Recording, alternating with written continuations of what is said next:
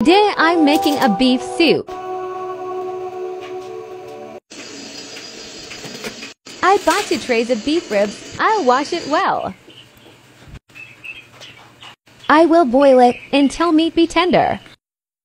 Add a little bit of salt, vinegar, some bay leaves, two garlics, a piece of white onion, and a bunch of cilantro.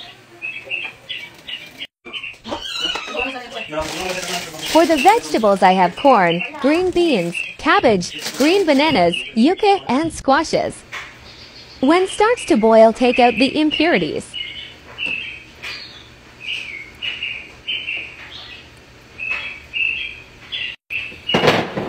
Wash the vegetables well and cut them in small pieces.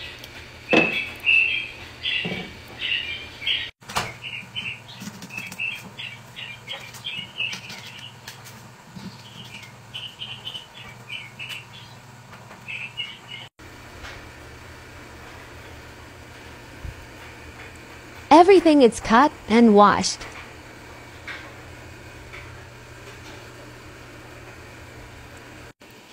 When meat is tender, add the vegetables.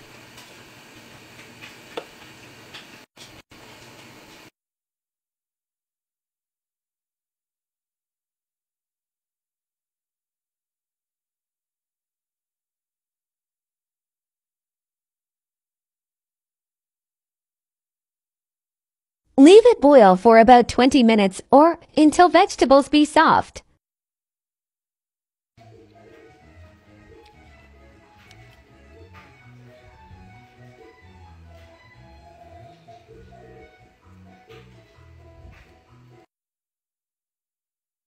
I season with salt if it's needed, black pepper, steak seasoning, and complete seasoning.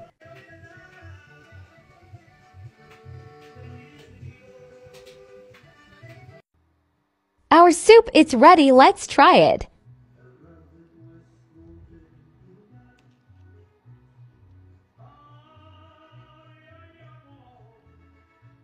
Delicious!